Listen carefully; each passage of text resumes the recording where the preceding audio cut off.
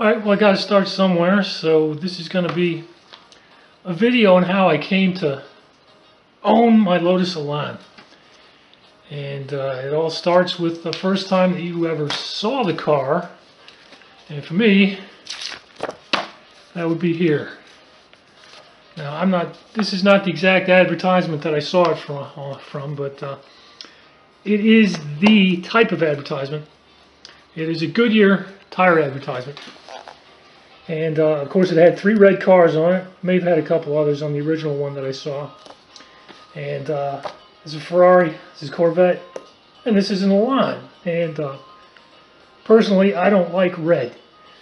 So that doesn't look good, that doesn't look good. But I was like, hey, now there's a red car that actually looks fairly decent. So this red car right here caught my eye, and it kind of, uh, you know, you read through the article and you realize this is a Lotus. And I had no idea that Lotus was producing something like this at the time. So I began to do a little bit of research on it. And research will take you into all kinds of stuff, like here's a DuPont registry. Um, there's other stuff, maybe you got an Autoweek or something like that. A little lawn right there. But uh, ultimately you have to decide whether or not you're going to be able to do it and uh, at the time that I first saw the car, they were 40 grand. And uh, 40 grand was out of my price range. I just could not do that.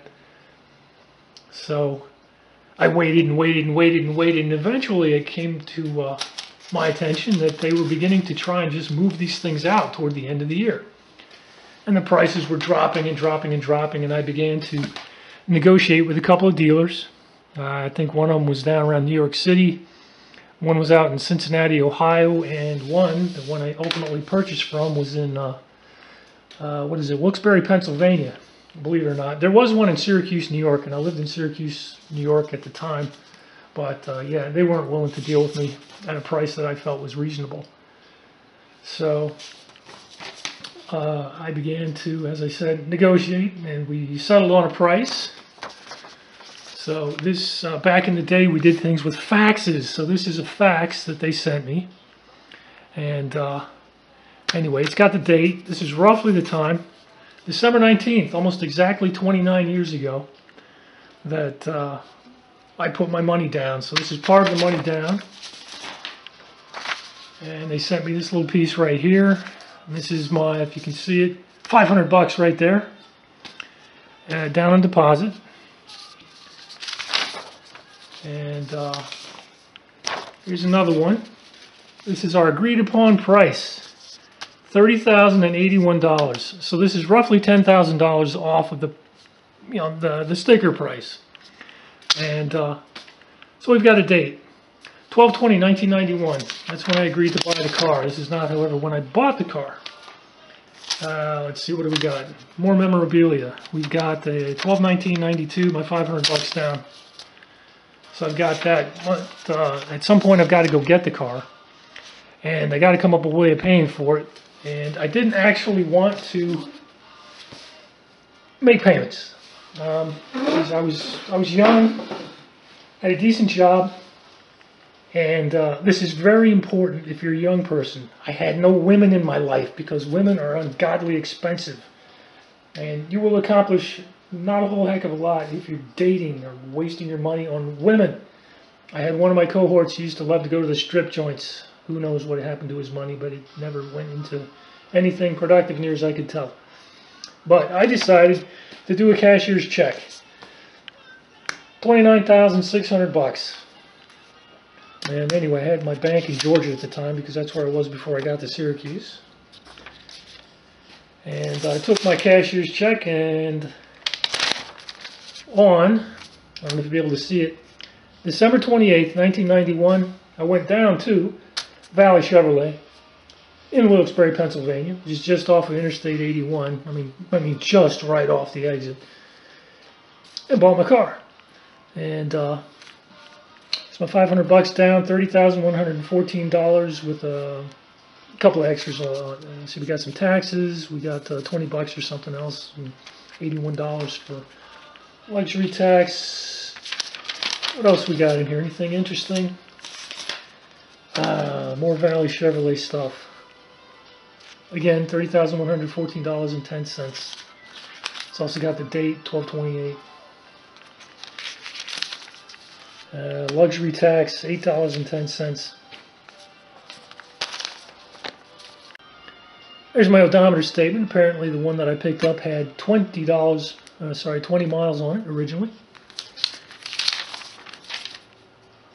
What else have I got? Temporary tags. Okay, temporary tag. 1228 1991, good for one month. I didn't actually pick the car up until February. So my temporary tag, not entirely sure what we did, but that temporary tag was useless.